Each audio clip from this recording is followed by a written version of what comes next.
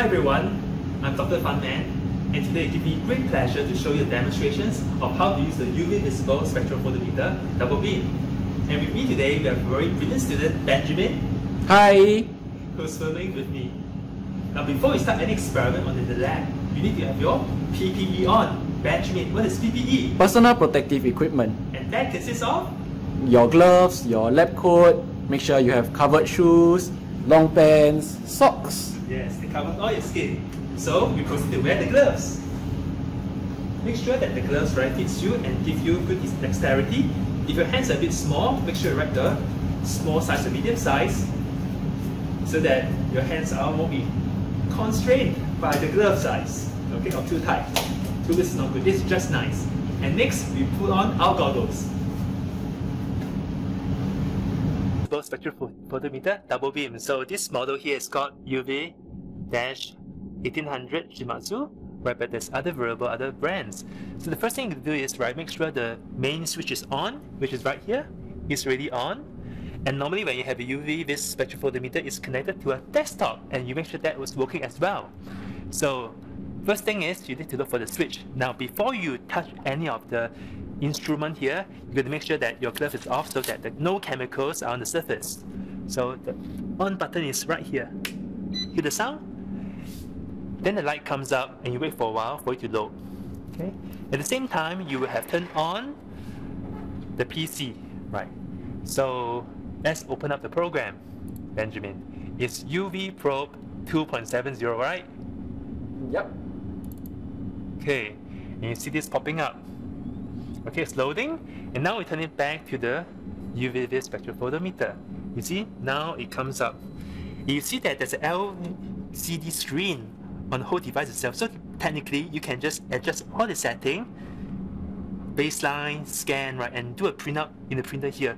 But for the purpose of this video, we can also link it to a PC that's easier for our movement for the setting. So to do that, we can press the button, right Ben? Yes, but we have to wait for the initialize, uh, initialization to complete. Alright, we have to wait for the initializations to complete. Make sure you see that it's okay, okay, okay, okay, okay, okay, and after a while, it will be okay. Now, one key thing to maintain the UV vis spectrophotometer is we try not to turn it on and off, right? Um, for many times, because right, the light, there's a lamp here and it has the longevity, right? And if we turn it too many times, it will spoil. And to reduce the ease of defect, we'll turn it on maybe once or twice a day, okay, upon usage. Okay, so this is the interface on your screen here of the software. So first you need to connect and then you see the start. After that, first click on this icon. It's called M, stands for method, right? So under the method, you will adjust what are the wavelength that you scan your sample. And of course, you can select the, the speed of scan. Right here, we choose very fast. You can also select the repetitions in the scan mode, the time interval, and change the file name where you want to save your files. So here we go.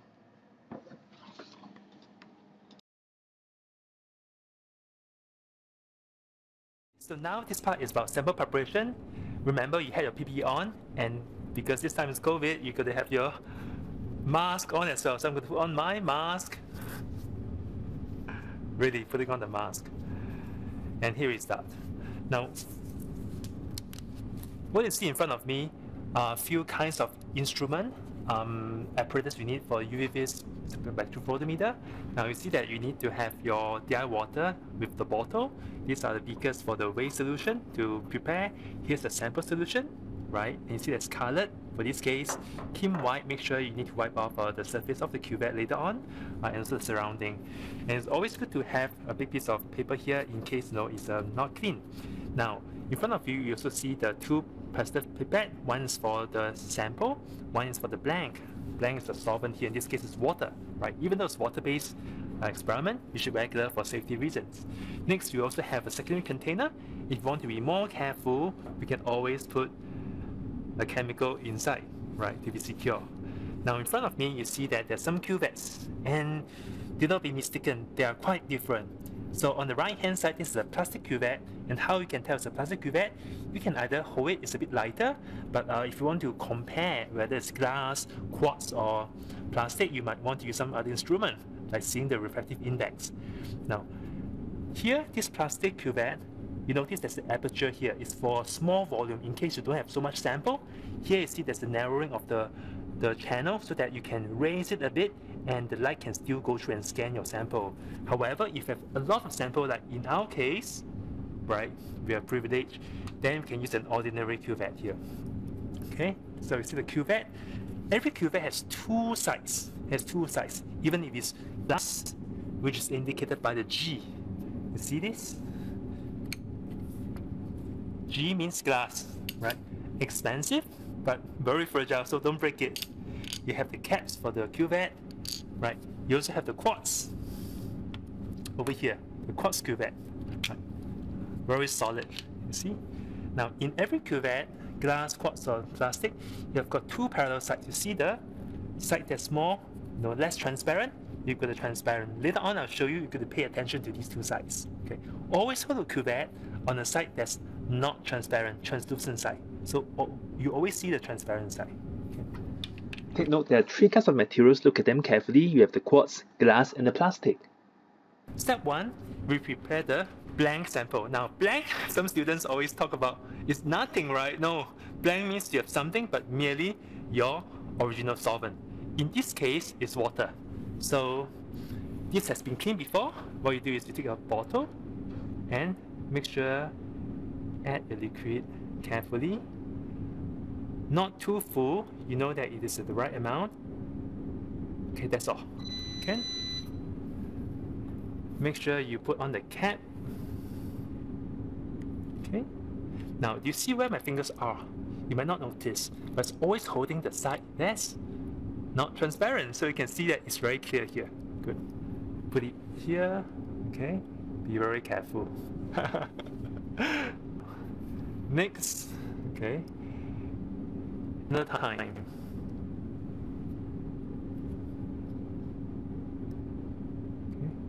Why is that so? Right, because we want to make sure that it is adjusted to the baseline, that our sample and our blank restart from the same standard, which is just the pure solvent. Close it. Here it is. Okay. So now let's proceed to the spectrophotometer, shall we? Okay, good. Here you are. So, over here. Now once again, before you touch the photometer, you got to remove your gloves. So I'm going to remove right hand. This is the sample cover. Open it. Alright. You notice that there are two two holders here, one for each cuvette. One's a sample holder, one is the blank. Right. So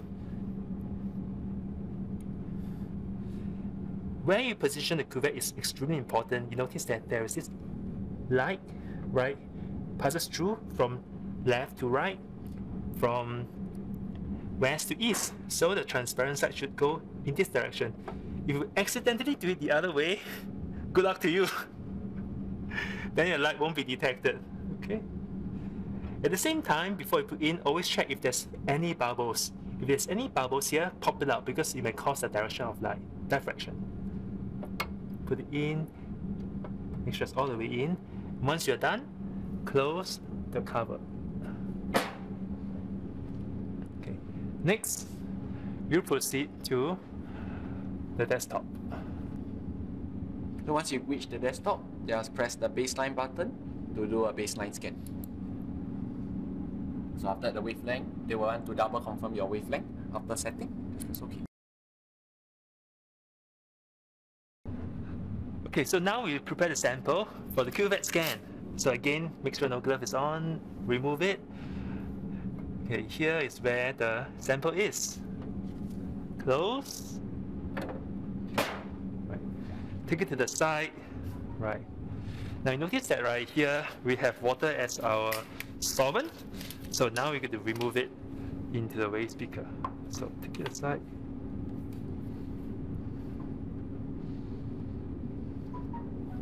Pour it.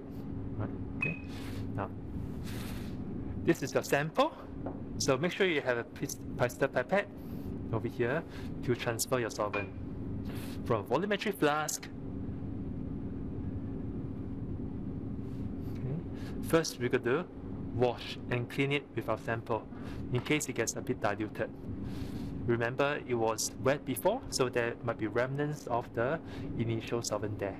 Okay, so what I do is you fill it a bit fuller. Okay, put on the cap, right, and rinse it. Rinse it. Okay, pour it back. Good. Then next, you would top it up with your sample this time around. Again, make sure there's no air bubbles, that's very crucial. Number one, no air bubbles. If you do, tap the side of the wall of the cuvette. Okay, just right. Okay. Another thing to pay attention is when you see the cuvette inside there's some solid, make sure that that sample can't be used because you will have some kind of deflection of the ray and then you do have to do filtration before doing that put back the cuvette cap, right? Do we proceed from now? Not yet. The side of the cuvette might be wet. Take a few clean wipes and make sure that the transparent side is really dry. Okay. Now we're good to go. Come.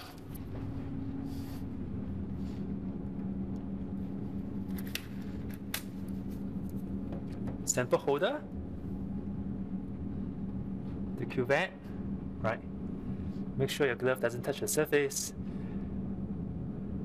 Transparent side, facing west to east. Close, and let's do a scan.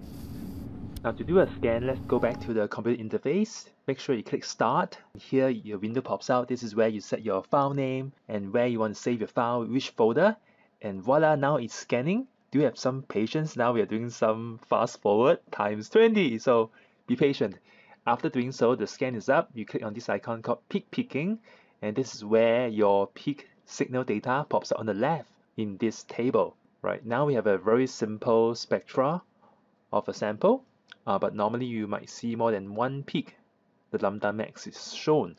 So next step, you go to print right? We print out this spectra and you can go on and analyze it. But here's a challenge for you. What is this sample here? So leave your answers in the comment section below.